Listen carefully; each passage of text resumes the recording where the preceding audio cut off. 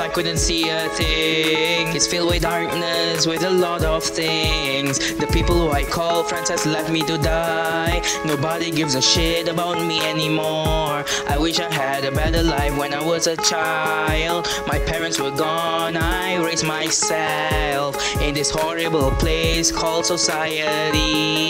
I wish I could have a family, a mother, a father, and siblings. I wish I could feel the warmth they give.